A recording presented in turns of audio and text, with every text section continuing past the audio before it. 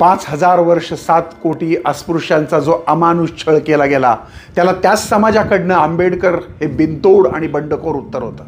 Doctor Babasaheb Ambedkar म्हणजे बंड मूर्तिमंत बंड. त्यांच्या देहातल्या कणाकणातून बंड थैमान घालीत होतं. डॉक्टर बाबासाहेब आंबेडकर म्हणजे जुलमाविरुद्ध उगारलेली वज्राची मूठ. डॉक्टर बाबासाहेब आंबेडकर म्हणजे ढोंग्यांच्या डोक्यावर आदळण्यास सदैव तत्पर असलेली भीमाची गदा. डॉक्टर बाबासाहेब आंबेडकर म्हणजे जातीभेदावर आणि विषमतेवर सदैव सोडलेलं सुदर्शन चक्र. धर्ममार्तंडांच्या वर्णवर्चस्वाचा कोथळा फोडून त्यांची आतडे बाहेर काढणारी वाघनक म्हणजे डॉक्टर बाबासाहेब आंबेडकर.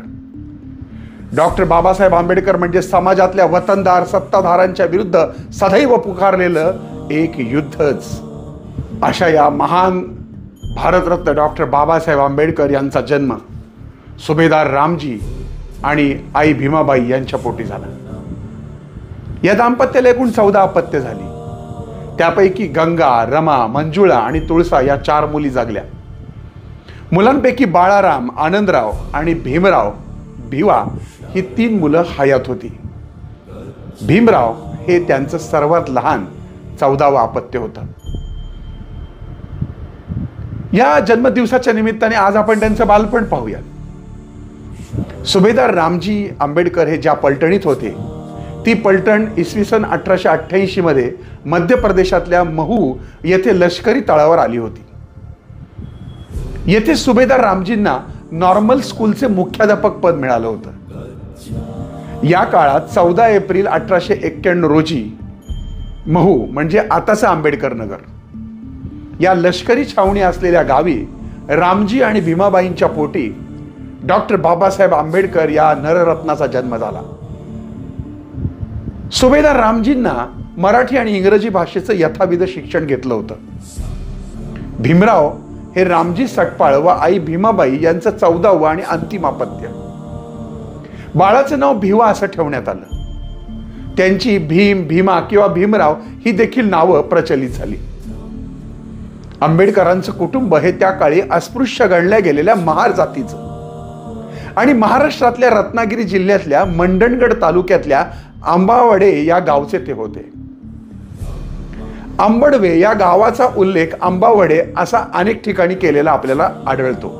आणि या गावाच्या नावावरूनच संकपाळ आडनाव बदलून आंबाड वडेकर आणि नंतर आंबेडकर असा झाल्याचा उल्लेख आहे.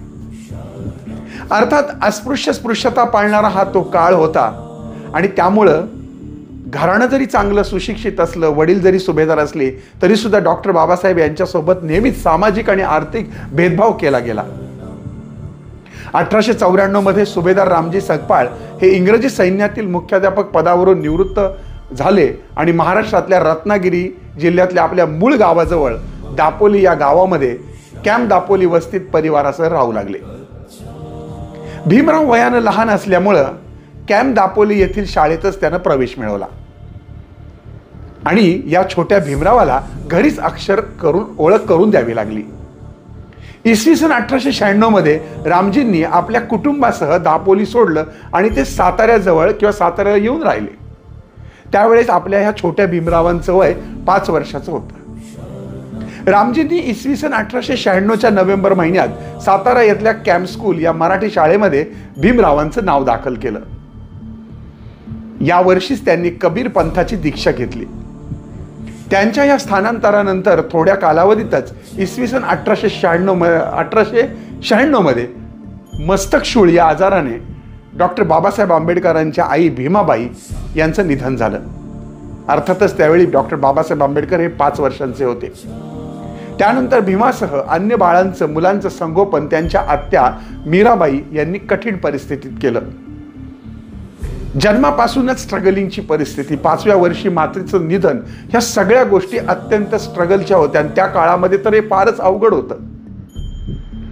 अशा या सर्व व्यापातून ह्या व्यक्तीनं स्वतःचं अस्तित्व निर्माण केलं स्वतःबरोबर संपूर्ण समाजाला घाणीच्या दलदलीतून बाहेर काढलं. डॉक्टर बाबासाहेब आंबेडकर हे वरदान होतं दलित आणि अस्पृश्य समाजासाठी.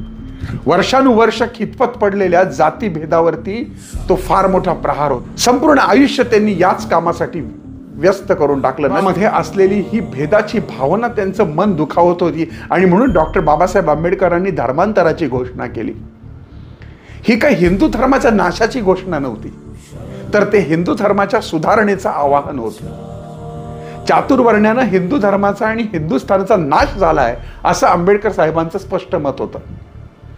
तुम्हाला माहिती आहे का? की धर्मशास्त्रापासून ते घटनाशास्त्रापर्यंत असा एकही विषय नव्हता की ज्यामध्ये त्यांची बुद्धी एखाद्या गरुडासारखी वाटेल त्या उंचीपर्यंत विहार करू शकत नव्हती. प्रत्येक ठिकाणी त्यांना नॉलेज होतं. प्रत्येक ठिकाणची त्यांना माहिती होती.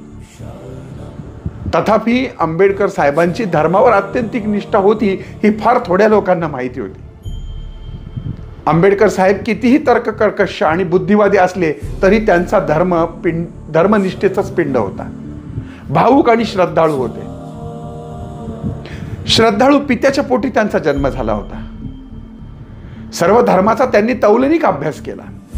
आत्म्यांच्या उन्नतीसाठी धर्माची आवश्यकता असते असं त्यांचं ठाम मत होतं. आणि धर्मावरील त्यांच्या गाढ श्रद्धेमुळेच त्यांचे नैतिक चारित्र्य निरपवाद राहिले. त्यांना कसलेही आणि कोणतेही व्यसन नव्हते. त्यामुळेच त्यांच्या अंगात विलक्षण निर्भयता आणि प्रचंड आत्मविश्वास निर्माण झाला होता. आपण जे बोलतो जे लिहितो ते खोटे आहे हे म्हणण्याची परमेश्वराची सुद्धा प्राज्ञा नाही असा आवेश आणि आत्मबल त्यांच्या व्यक्तिमत्वात सदैव संचरलेला असे अनेक वर्षाच्या आध्यात्मिक चिंतनाने आणि परिशीलनाने डॉक्टर बाबासाहेब आंबेडकर यांनी भगवान बुद्धाचा अभ्यास करून शेवटी ते भगवान बुद्धांच्या चरणापाशी येऊन पोचले. तथागत भगवान बुद्धाला शरण गेल्याशिवाय केवळ अस्पृश्यांनाच नव्हे तर साऱ्या भारताला तरुणोपाय नाही असा आंबेडकर साहेबांचा ठाम निश्चय झाला होता. आणि म्हणूनच त्यांनी चौदा ऑक्टोबर रोजी नागपूर येथे बुद्ध धर्माची दीक्षा स्वतःसह पाच लाख लोकांना दिली. अशा या डॉक्टर बाबासाहेब आंबेडकर भारतरत्न डॉक्टर बाबासाहेब आंबेडकर यांच्याबद्दल किती बोलावं तेवढं कमीच आहे. त्यांच्या व्यक्तिगत जीवनामध्ये घडलेले प्रसंग त्यांच्या संततीचे मृत्यू राजरत्नाच्या मृत्यूसारखे प्रसंग हे जीवनाला हलवून टाकतात. प्रचंड स्ट्रगल स्ट्रगल स्ट्रगल आणि डोक्यामध्ये एकच ध्येय की आपल्याबरोबरच आपल्या सर्व बांधवांचा उद्धार करायचा. अशा या महान भारतरत्न डॉक्टर बाबासाहेब आंबेडकर यांच्या जन्मदिनी जयंतीनिमित्त आनंद पिंपळकर आनंदी वास्तूच्या वतीने डॉक्टर बाबासाहेब आंबेडकरांच्या चरणी शतशतकोटी वंदना। ओम साईराम जय भीम जय महाराष्ट्र